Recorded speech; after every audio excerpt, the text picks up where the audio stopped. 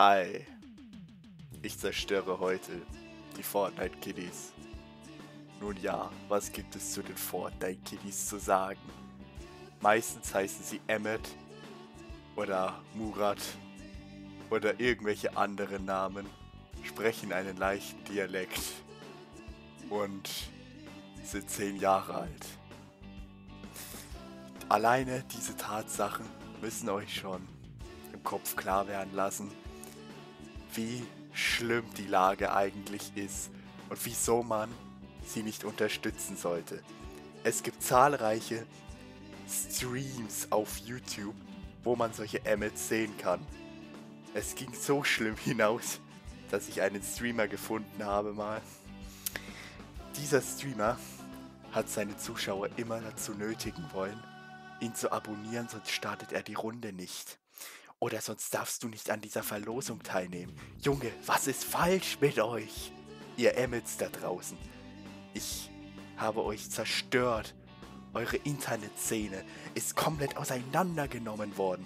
Ganz ehrlich. Boom, boom, boom, boom, boom, boom, boom. Und außerdem habe ich kein Skript. Aber das ist ja egal, wenn man Fortnite-Kinder zerstört. Weil ihr seid eh kein Skript wert. So Leute, da ich noch keine drei Minuten habe, kommen wir zu Teil 2 der Fortnite Kitty Zerstörung des Over 9000 Bosses, der diesen Satz hier nur streckt, damit er auf die drei Minuten kommt. So. Und zwar geht es jetzt um ihre Mikroqualität. Die meisten Fortnite Kiddies denken sich, scheiß drauf, Headset ist doch cool. Oh, guck mal da, 10 Euro. Das ist billig, das muss gut sein. Nein, ist es nicht, ihr Kleinen. Ich will keine Schimpfwörter sagen, sonst krieg ich Ärger. Schimpfwörter sind böse. Ein böser Ort und ich strecke wieder. ich bin so fies. Und unchristlich, sagt Mori gerade. Okay. Also, diese Mikroqualität, die ist. Nee, also, wenn ihr mal in Fortnite-Streams von so 10-jährigen Emmets reingeschaut habt, dann merkt ihr, dass die Headsets nicht gut sind.